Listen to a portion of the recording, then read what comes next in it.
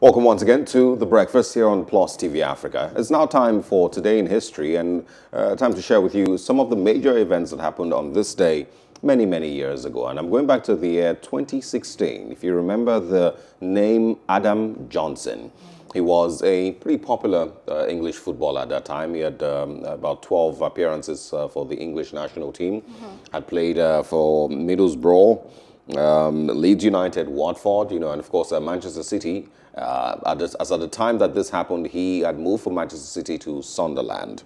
Um, he was sentenced on this day in 2016 to six years in prison for sexual activity with a schoolgirl. Um, Johnson continued to play for Sunderland during his bail, and that's one of the things that uh, Big Sam, as is popularly called, Sam Allardyce, was criticized against uh, for letting him continue to play uh, while you know he was on on bail. Uh, he was um, charged over sexual activity with a 15-year-old girl. Pleaded, pleaded guilty to the two charges against him, and uh, the other one being of child grooming, and eventually was subsequently sacked by Sunderland. As at the start of his trial, Johnson admitted grooming the girl and one of the charges of sexual activity relating to kissing her, a 15-year-old. Uh, Judge Rose at that time said Johnson had uh, every opportunity to enter the guilty pleas to the charges he finally admitted. He ordered the footballer to pay £50,000 of the prosecution's uh, £67,000 uh, cost. The trial only lasted about 16 days and he was granted bail in order to say farewell to his infant daughter. In that period, of course, he continued to play for Sunderland. Um, after his conviction, Sunderland manager Sam Allardyce faced scrutiny, and I spoke about that earlier, for allowing him to continue to play during his bail. He was eventually released in 2019 after serving half of his uh, uh, his uh, sentence. Um, he, of course, from 2004 to 2010 had played for Middlesbrough uh, 96 times with 13 goals. 2006 he was on loan at Leeds United. 2007 on loan at Watford, and of course, uh, 2010 to 2012, uh, played for Manchester City, seven three, some three appearances for Manchester City, scored 11 goals, and then at Sunderland, where you know he eventually um, was arrested for. Um, a sexual assault with a 15-year-old. The age of consent in England, I think it was 16. Um, and of course, um, also played for the English national team, under 19, under 21, and of course the, the English senior team from 2010 to 2012. This story is uh, it's a is a perfect one uh, to describe two things. The first one is how a very promising career can end because of lack of self-control and stupidity. Um, you know, a couple of years earlier, how your career can just be thrown in the gutter um, how, you know, all the many, many years, because he's, I think it's 33 years now, obviously can't go back to playing football. How, you know, all of those promises that he maybe had had, you know, for a very, very interesting football career um, have all gone into the gutter because of plain stupidity and lack of self-control. Uh, that's one. And then the second one is how some of the things that people felt were normal or felt were okay um, 10 years ago can still come back to haunt them. And it's just to put that one out there because there's things that people did in 1999 or in 1982 or in you know 2000 or 2005 that in that era weren't you know so much you know of a problem.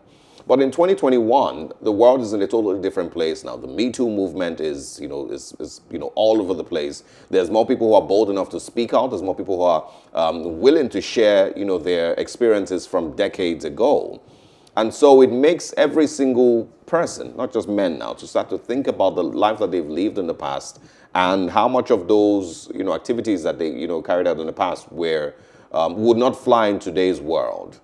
Um, it also makes you realize how careful you should be really uh, with uh, things like sexual activity. And, and you know, I, I, don't see how in any way possible that, uh, you know, being with a 15-year-old girl is even a mistake. That's just plain stupidity um, and, um, and, and, recklessness. And he, he, totally deserved jail time. Probably should have been in jail for more than six years.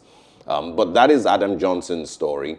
And um, that is how his career ended, um, you know, where he maybe could have continued to make a lot of money playing football for Sunderland and for the English national team. Um, it ended on this, you know, this day in 2016. This is what you'll call pedophilia, isn't it? Yes, can be described as pedophilia. The statistics say there are about 42 million survivors of, you know, sexual abuse, you know, from an adult male and a younger child in the US. It says one in 13 or one in three girls are sexually abused before the age of 18. And one in five children are solicited sexually while on the internet before the age of 18.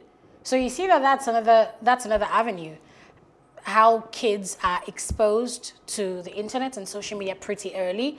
You even see things online these days about how kids experiment sexually on social media or how an adult male who should be a custodian, a guardian of this child becomes their abuser.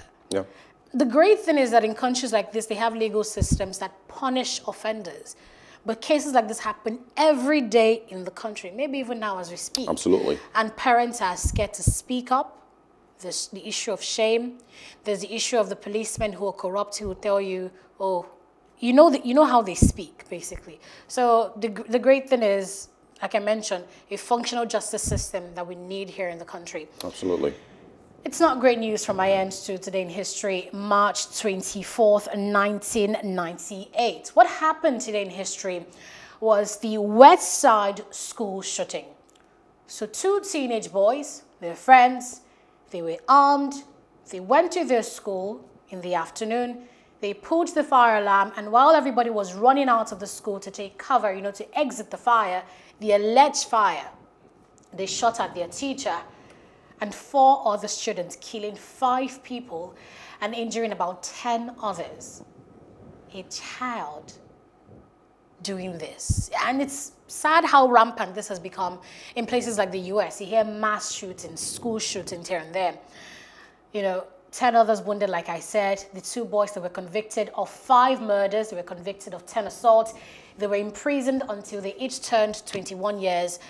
And, uh, you know, there was a memorial, um, memorial held for the people who had died. About 9,000 people showed up for that. And uh, back in 2019, this guy, this guy who, who had committed this murder, his name is uh, uh, Andrew Golden, he, he eventually, you know, died in a car crash. That's the story. Sad, sad day in the Westside School where five people were fatally shot? Well, um, like you said, uh, it's it's you know as, as a part of uh, United States history. It's a part of you know the United States. Um, it's a sad part of you know their normal over there. And even you know until yesterday, you still hear of mass shootings where five people, ten people are killed. Uh, where now you know there's a campaign to stop Asian hate, uh, if you remember a couple of days ago, sometime last week, I believe, um, about eight, you know, Asian women were shot, you know, in a, in a you know, in a spa. Um, so what, you know, for me is, you know, the, the most sad part is the fact that all of these school shootings and all of these incidents, these mass, you know, shootings have not been able to convince the United States government and the uh, National Rifle Association, NRA, to make new laws or to change the laws with regards uh, or change the gun laws, you know, in the United States. The politics concerning the NRA and the United States government is so deep and so dirty, I believe, that uh, makes it difficult for new laws to restrict gun ownership and, of course, to make it more difficult for a person to just walk into a school and um, kill people.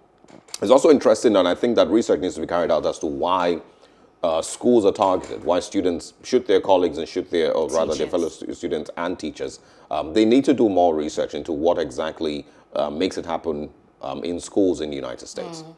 So really, this all goes back to gun laws. Gun laws that are very lax. People have a right to own firearms, and your father, your mother has a firearm. Your teacher offends you, you take a gun and you go shoot. We saw the story. I can't remember what state, but here in Nigeria, this schoolgirl yeah. was found with a, with a locally made gun, a locally made pistol. She said that her teacher had told her to cut her hair. And because she had access to that, she took it to the school and attempted to, to shoot at her teacher. So if we're advocating for gun laws in Nigeria, we need to know what exactly we're getting ourselves into. But that's what happened today in history. On March 24, 1998, there was a school shooting in Westside School that led to the deaths of five people and 11 others injured. And I spoke about Adam Johnson, Manchester City footballer, and of course Sunderland footballer, who was on this day jailed for sexual assault uh, of a 15-year-old in the year 2016. That's uh, for today in history. We're taking a short break. When we come back, our first major discussion today is still talking about guns, security, and the life of a governor who has gone to meet President Muhammadu Buhari to make certain demands. Governor Samuel Ortom of Benue State. And that's our next conversation here on The Breakfast.